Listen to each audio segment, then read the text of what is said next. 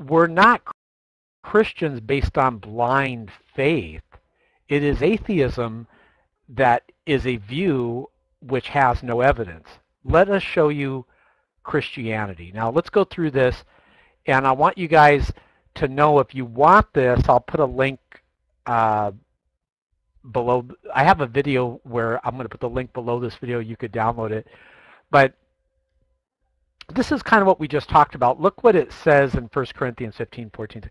And if Christ has not been raised, then our preaching is in vain and your faith is in vain. We are even found to be misrepresenting God because we testified about God that he raised Christ, whom he did not raise, if it is true that the dead are not raised.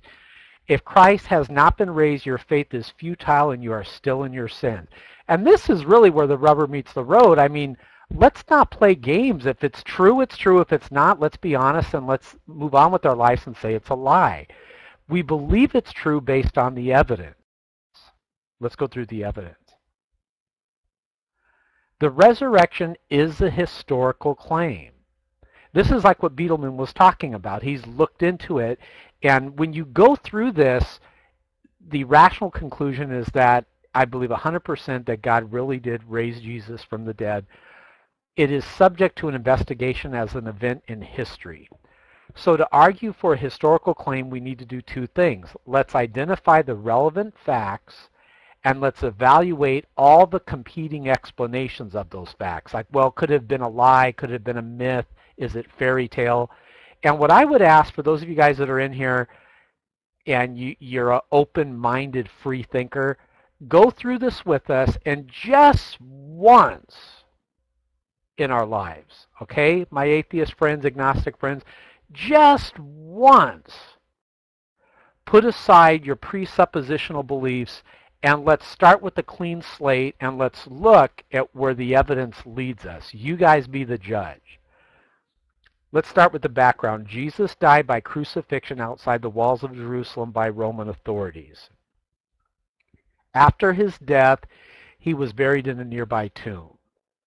And you can look up Josephus uh, the against Apion 2.211. You could see that. Notice Jewish law required burial even for foreigners. Now let's get to some good stuff. After Jesus died and was buried, there's four explanations of what happened. His immediate followers did not claim he rose again. Uh, some people say, no, the Gospels are later myths. So that's called the mythic theory. Let's all be honest. Let's put that on the table as one of the explanations, right? Another theory is it was a hallucination. His followers were deceived into thinking that he rose again. Or there's a conspiracy theory. His followers tricked. They were dishonest. They deceived others into thinking that he rose again. Or he rose again. So as we go through this, I want you guys to be like jurors on a, in a court of law. Let's look at what the best explanation of the evidence is. Remember, if you're an atheist or an agnostic, an unbeliever, you're not a Christian, just once in your life, put aside your presuppositional beliefs, start off with a clean slate. Let's go where the evidence leads us. If you can remember this word alive, it really helps you understand why Christians believe indeed that Jesus uh, is risen. He did die and he did rise again. Appearances, notice what the letters stand for, low status of women in that culture, the immediate proclamation voluntary sufferings in the empty tomb. Let's fly through it, guys. And by the way, if you guys want this slide, just let me know. You, it's a real small file. You could download it. So here, this is a fact that cannot be denied. We're going to go through fact. Appearances of Jesus. The primary evidence that Jesus rose from the dead is that numerous people claim to have seen him alive after his death. This is a fact. People did claim to have seen him alive after his death. There's even atheist uh, scholars like Gerd Ludemann that admits that it is a fact that the disciples really did believe that they saw him alive. We'll go through some sources, Matthew 28, Luke 24, all those sources there. I won't go through them all. You can see it on the slide. Now, what are some conditions for, look at the word unreliable eyewitness testimony. In other words, guys, when is eyewitness testimony unreliable if the events happen quickly over a period of seconds or minutes, you know, they miss it, the participants are strangers to one another. There's a weapon present, such as a knife or a gun. And under these conditions, eyewitness testimony is typically unreliable, particularly on details.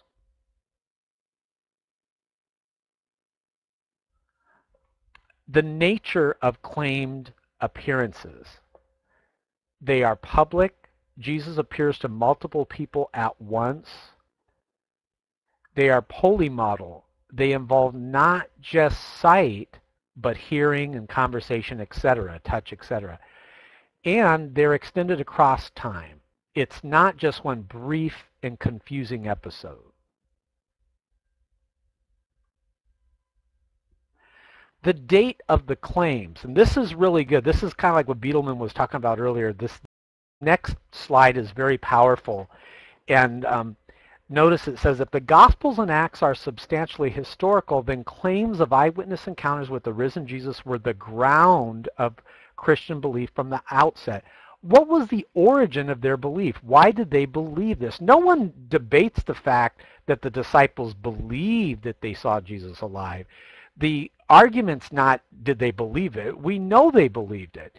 The argument is were they deceiving people when they said it, that they believed it or did, did, what were they hallucinating? What happened? This early creed, and Mike, I think you were talking, well, oh, Mike, oh, Mike's still here. Mike was talking about the creeds and stuff. Well, this is a big reason why Christians believe what they believe. The early creed in 1 Corinthians 15, 3, 7 is independent evidence for the early claim to eyewitness encounters with Jesus. This creed was not invented 20 years, 10 years down the line. It was an early creed. Watch this, guys. Let's go through the creed. For I delivered to you as of first importance what I also received, that Christ died for our sins in accordance with the Scriptures, that he was buried, that he was raised on the third day in accordance with the Scriptures, and that he appeared to, notice the spelling of the word. Cephas, Cephas, that's that's Peter. Well, why is it using C-E-P-H-A-S? Notice it says, then he appeared to more than 500 brothers at one time. Remember that, C-E-P-H-A-S. That's a key uh, name. That's Peter. That's a key name in this creed. Then he appeared to James, then to all the apostles, right? Now watch this. Mnemonic structure. We're talking about the creed. This is a brief creed designed for memorization. You know how the Jews would memorize this creed, and it was in Greek, so you know other people can memorize it. Notice the use of Cephas. Some people say Cephas. This is a name for Peter that was used little later on. Delivery to Paul. Paul received this creed either in Damascus or in Jerusalem shortly after his conversion. So very early we have this creed. Extremely early. Yes, that's right, Mike. Now, moseying right along. So it doesn't seem like it's myth. It's not like a non it's not like a fictional book that was written. It has a historical uh, genre to it. It can't be hallucination. And we'll talk about that. Uh, well, let's talk about it right now. Some people will say, well, it could have been hallucinations. Well, the Jews had no uh, belief in a dying or rising Messiah. So if they were going to hallucinate, if someone's going to hallucinate something, the hallucination comes from where? Does God give them the hallucination? Well, no. The hallucination would come from their own brain. Well, they would hallucinate Jesus like in the spiritual place, Abraham's bosom, or somewhere else. They wouldn't see him. Uh, remember the polymodal experiences where they see him, they felt him, they spoke with him. That that is not a hallucination or conspiracy. So Christianity, the the um, appearances seem to go ahead and in my opinion, it seems to go ahead and back up what Christians have believed all along. It seems to be the more rational uh, reason why it happened. Now, L is for low status of women. If you're going to make up a story, a fictional story of the empty tomb, you're not going to use women because women's testimony was not really regarded. Look at this. Women were not regarded highly in that culture of that time. Look at look at uh, the second one down, morning prayer. The men bless God who has not made me a Gentile, a slave, a woman.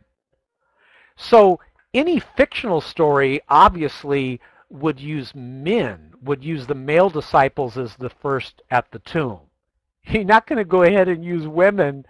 Um, well, then why would they use women? Well, because that's what really happened. And the disciples faithfully recorded what to them was a very embarrassing uh, moment, you know, that they weren't at the tomb and the women were.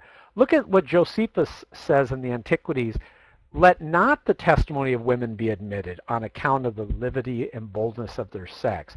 Look what the Talmud says any evidence which a woman gives is not valid. Now, check out what um, N.T. Wright says. N.T. Wright's epic. And uh, hey, Mike, N.T. Wright, uh, isn't N.T. Wright live out there where you where you guys are at, Mike? I'm not sure about that. Now, in all four Gospels, in all four Gospels, the first people at the empty tomb are women in all four Gospels. They sync together. As historians, look what N.T. Wright says, and this is what we were just talking about. As historians, we are obliged to comment that if these stories had been made up five years later, let alone 30, 40, or 50 years, they would never have had Mary Magdalene in this role. To put Mary there is from the point of view of Christian apologists wanting to explain to a skeptical audience that Jesus really did rise from the dead, like shooting themselves in the foot. But this is what's called the level of embarrassment. This is how you know some things are true uh, with this level of embarrassment. This adds, it's like gold dust, according to N.T. Wright. He says, but to us as historians, this kind of thing is gold dust. Why? Look what he says. The early Christians would never, never have made this up. And that's from his book, There is a God. All right. Um, I notice we have a. Are, hey, potatoes, are you an agnostic or an atheist? He says, yeah, I can accept that kind of. All right, man. That that shows you that you're uh, that we're all thinking here. So L stands for what? You remember low status of women in that culture. Now let's go to I. What's I? Immediate proclamation. Immediately they were saying, uh, good memory, Princess.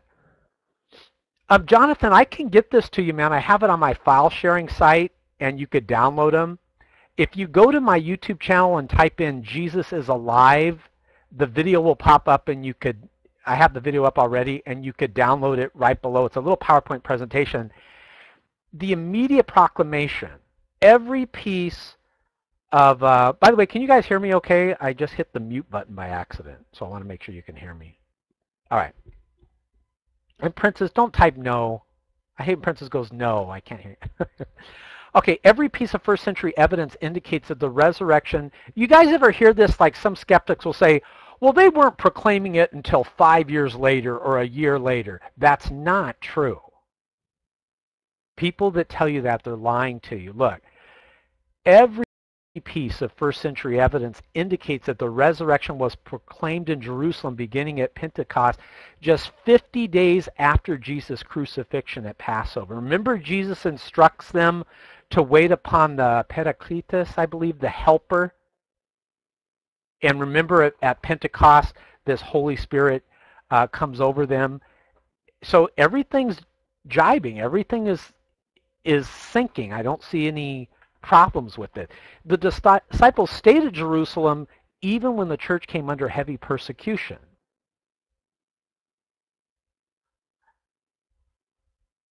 This is really good.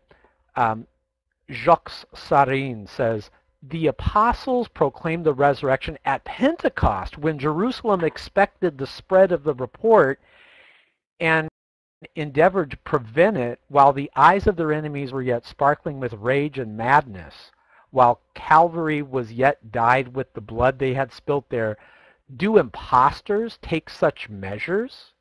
Why would the disciples do this? Their Messiah was dead, right? If he really didn't rise from the dead, why would they do this?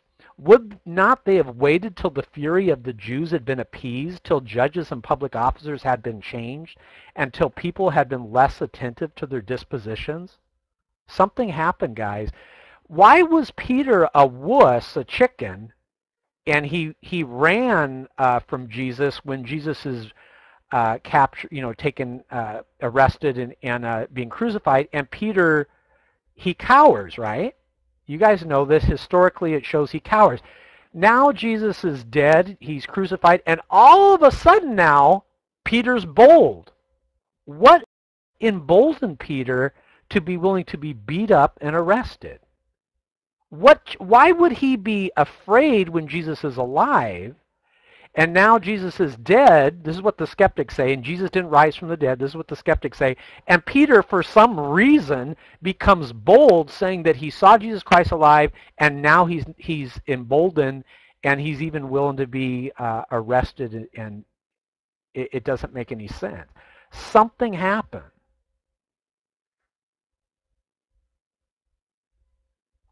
In some places that sometimes the report, oh, this is really, this makes sense. And I think everyone here that's kind of skeptical would agree with this.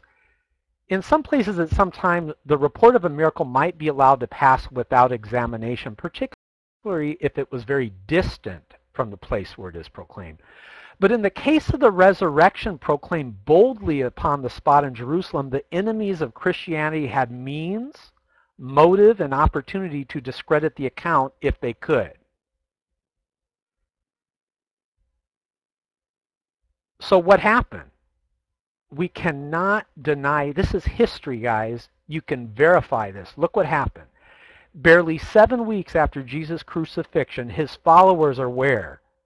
They're in the streets at a major Jewish festival proclaiming his resurrection. And look, thousands of people, almost certainly all devout Jews, are converted.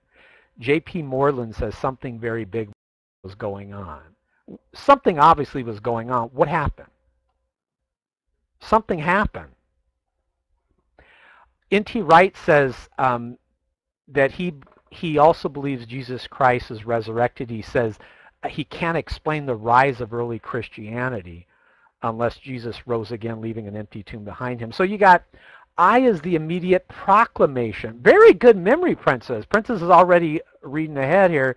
V is the voluntary suffering that they were willing to go through. Now, many people professing to be original witnesses of the risen Jesus voluntarily pass their lives in labors, dangers, and sufferings on account of their belief. They profess to be original witnesses of the risen Jesus. Not uh, hearing it from someone else that heard it from someone else that heard it from someone else these people that profess to be original witnesses of the risen Jesus voluntarily pass their lives and labors, dangers, and sufferings on account of their belief. Something happened, guys. Can you see? Beelman was talking earlier. Can you see why we can't ignore the facts of something happening? These consequences were easy to foresee. They knew they were going to suffer as they could not reasonably hope for a favorable reception from the majority either of the Jews or Gentiles. They witnessed Christ being killed. They knew what they were going to get into, but they willingly did it. Like a princess said, voluntarily suffering. Right. now, this is this makes sense. People will sometimes brave persecution and risk death for something false. That's true, right? People will risk death for something false, but look what happens. We would all agree that they do not generally do for, for something they know to be false. If, if you thought it was false that Jesus died and rose from the dead, you're not going to be willing to be persecuted if you knew it to be false. The disciples believed, there's no question, they believed that Jesus rose again. They believed it. Now notice, um, they do not generally do for something they know to be false unless they think they have a reasonable chance at some earthly reward or something that makes it worth the risk. This is the best recipe for starting a false religion. Offer them something tangible here and now. But Christianity promoted personal morality and temperance, and it actually minimized the importance of earthly power and wealth. so that wasn't their motive. And the earliest preacher of the gos- preachers of the gospel lived by those principles. And notice what it says, unlike some of the televangelists today, you know. We're almost done, guys. I appreciate you guys going through this. Excuse me. I think you guys would agree with this statement. Martyrs are witnesses. No other religion. You know how someone says, well, why not this religion? Why not this religion? Why not that religion? Because there, there is no other religion in the world that was ever propagated by witnesses who had seen and heard and been every way conversant in what they witnessed concerning the principles of their religion. No religion besides was ever preached by men who, after an unalterable constancy under all kinds of sufferings, at last died for asserting it, when they must of necessity have known whether it were true or false, and therefore certainly knew it to be true, or else they would never have suffered and died in that manner for it. And that was Robert Jenkin, Evidence and Certainty of the Christian Religion. There were new rules of conduct. They abandoned the animal sacrifice system, the binding authority of the law of Moses, belief in a Messiah that would overthrow the government. You know, they they abandoned that. They adopted Sunday as a new day of worship, baptism as a sign of the new covenant, and communion as an act of remembrance of Christ's death. Got like four or five more pages at the most, guys, so I appreciate your patience. Antonin Scalia is on the uh, uh, Supreme Court. He says it is not irrational to accept the testimony of eyewitnesses who had nothing to gain. The worldly wise do not believe in the resurrection of the dead, so everything from Easter morning to the ascension had to be made up by the groveling enthusiasts as part of their plan to get themselves martyred. In other words, what Antonin Scalia is saying, and he said this uh, in another writing that he did, he said, are we to believe that these men that walked with Jesus and talked with Jesus and ate with Jesus, they all concocted the lie that Jesus died and rose from the dead all for one purpose, to be martyred. Right. Doesn't make sense to me either. No, they really believed that Jesus uh, rose from the dead. So V was voluntary sufferings. Um, I don't think you're going to voluntarily suffer for something you know is a lie uh, or a hallucination hallucination. Well, actually, you can't even really use hallucination for the voluntary suffering. So, okay, what's what's E princess? Princess is going to finish it off with telling us what E is, and we'll flip the page. so we did, yeah, the empty tomb, which is historical. Most scholars, not just conservative Christian scholars, the majority of New Testament historians, these scholars, they accept that the tomb was found empty. Why do they accept that? Because it's multiply attested early on. And also, you know, that's what the Jews that had Jesus crucified were saying. They were saying, well, the tomb's empty. You know, they had to come up with the cover story. They said the tomb's empty because the disciples stole the body. So no one really argues that the tomb wasn't empty. It's pretty much agreed upon. Um, and because the empty tomb is uh, early and multiply uh, attested. And also, remember we talked about the level of embarrassment, the low status of women in that culture, that adds more credibility to it because it's also partly because the criterion of embarrassment and the fact that the tomb was discovered by women. And also the Jews were going all over towns, you know, the, the uh, Jews that, um, well, here it is right here. Matthew gives us an account of the decision by the Jewish leaders to, quote, spin, unquote, the story by saying that the disciples stole the body. In the middle of the second century, Justin Martyr in his dialogue with Trypho points out that the Jews are still sending people from city to city spreading that story. So we would all agree, hey Mike, would you agree with me that the tomb was empty? That the evidence pretty much is on that side? So it's we had two mics from the uh, the UK. One was an atheist and one was a Christian. so this is a tacit confession that the Jews could not find the body. Well, everything is showing, guys. There's no rational reason to believe that these disciples were lying, and there's lots of reasons to believe that Jesus died and rose from the dead. We have evidence of it. Look at this imperial proclamation against grave robbing, uh, dated AD 41, and it prescribes the death penalty for those who would rob graves. Why would you rob, uh, risk your life getting a corpse that is dead? When, when before, when Jesus was alive, the disciples scattered, most of them.